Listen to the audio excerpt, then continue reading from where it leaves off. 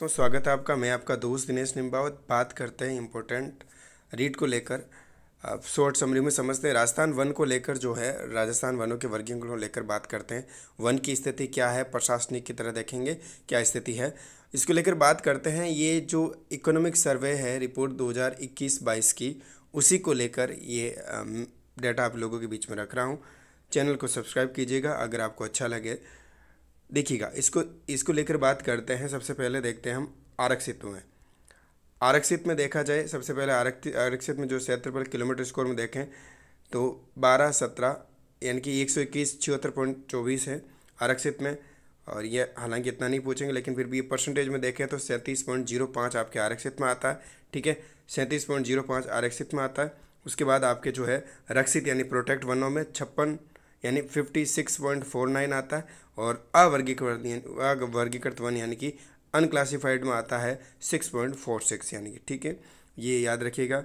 हालाँकि ये डाटा याद रह जाए, आरक्षित बारह सत्रह यानी कि बारह एक सौ छिहत्तर पॉइंट चौबीस किलोमीटर स्कोर क्षेत्रफल हो गया। रक्षित का अठारह पाँच सौ चौंसठ पॉइंट पैंतालीस हो गया और अवर्गीकृत का जो है आपके इक्कीस तेईस पॉइंट तिहत्तर हो गया। ये याद रहे, ठीक है? बाकी ये आंकड़े याद करके जाइएगा ज़रूर। आगे बात करते हैं, इसमें से देखें, कुल अभिलेखित वन।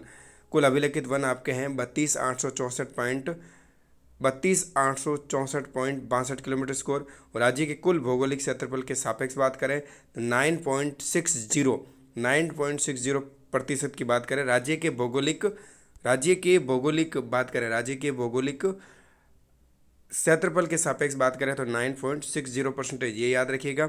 ठीक है, उसके बाद बात करें, राज्य का कुल आवरण देखें, कुल वन आवरण, राज्य का कुल वन आवरण की बात करें तो सोलह छः सौ पैंसठ किलोमीटर स्कोर है, ठीक है। उसके बाद बात करें, अभिलेखित वन के अंतर्गत वन आवरण आता है, अभिलेखित के अंतर्गत तो बारह, पाँच सौ साठ किलोमीटर स्कोर आएगा।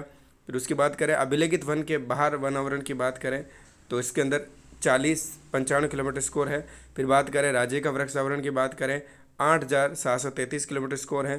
फिर बात करें राज्य का कुल वनावरण एवं वृक्षावरण की बात करें तो पच्चीस पच्चीस, अड़तीस जो है, पच्चीस, तीन सौ अट्ठासी किलोमीटर स्कोर है, ठीक है? उसके बाद बात करें, ये वेरी इंपॉर्टेंट है, राज्य के भौगोलिक क्षेत्रफल का बात करें, राज्य के भौगोलिक क्षेत्रफल की बात करें, ये इंपॉर्टेंट है, इसको देखिएगा, ये जो है, राज्य के भौगोलिक क्षेत्रफल का seven point four two percentage राज्य के भौगोलिक क्षेत्रफल में, देखिए, यानी कि कितना है seven point four two percentage है, ठीक है? याद रखिएगा।